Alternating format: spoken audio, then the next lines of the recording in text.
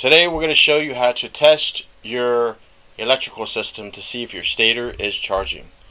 So you're going to need a couple tools, actually just one, but first thing you're going to need to do is take off your battery box by removing the screws there, there, and on the other side. And then you're going to need a voltmeter that looks like this. So what you're going to do is you're going to turn your voltmeter to volts which on ours is the bottom one here. And hook it up to your battery. You're going to have two prongs here. Now this battery is a little bit different, but you're going to have a positive and a negative. So this is where you're going to hook it up. You have to have a voltmeter for this. And if you're unsure which one to hook it up to, if you hook up your battery and just move the buttons to C12 or 13 volts, like this, that's where you're going to need to test it out. So what we're going to do is show you now that that's hooked up you have 13 volts and then once you crank up the scooter we're going to show you what it should do and how it should be performing and if it's not performing uh, other steps you can take.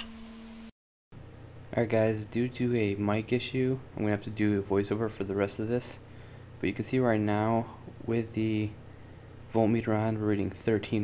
We're going to go ahead and start up the bike. And you see it didn't drop below 9, which is you don't want. If it drops below 9, then you know the battery is bad.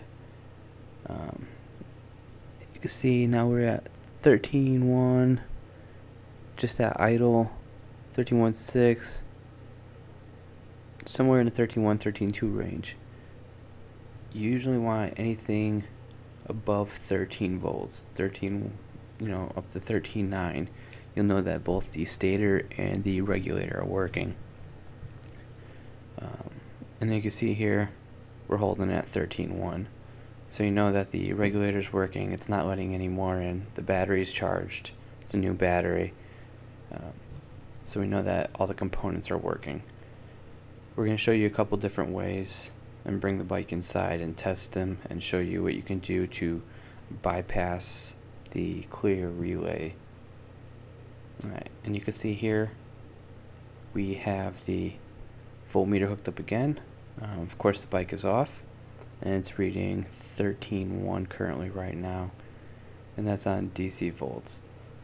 So what we're going to end up showing you is we're going to keep the black negative in the battery and we're going to show you on the regulator rectifier that we have, which is a 5 pin, which is what we like to use with the 11 poles.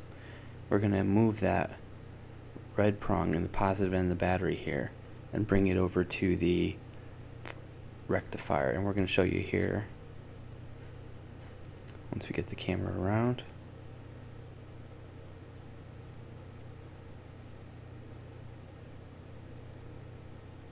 Okay, so on your regulator, you'll see that there is a red wire coming out of it. That's going to be the feed for your power. So that's going to be the wire that has the charging volts coming back from the stator.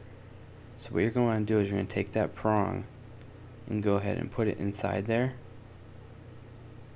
And you can just kind of tuck it in through the clip here like this. And with the bike on, you should be able to get a reading. Ours right now is off, and we're getting still having our 13.1. But when you turn your scooter on, you should be able to. It should be fluctuating with you giving the gas. So it should go up to 13.2, 13.8, whatever it is. If it is not, then it's going to be one or two things that isn't working. It's going to be either your rectifier's going bad or your stator. Okay, so now what we're going to show you how to do is bypass if you have any type of electrical issue for you to figure out how to make sure that your stator and your rectifier are working and this will allow you to recharge your battery if those two components are working. So you're going to take a piece of wire like so. Um, you're going to make sure that you have a fuse for it. With this one we have an open end and then we also have an eyelet. So you would take this open end and you would tap it into the red wire either before or after the clip. Let's see here, see if we can get it to focus. Come on.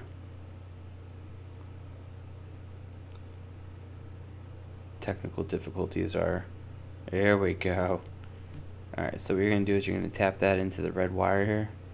You can solder it, clip it, make sure that it has a solid connection to it. You're going to run the other end over, and that's why we put the eyelet on it. And you would just screw that in to the positive terminal, which we'll see if we can get around and show you here.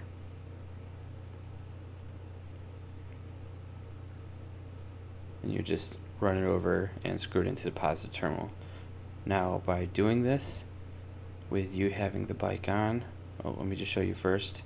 This is the wire that we're choosing. We can use a fuse in there. We don't suggest using a 5 or a 10.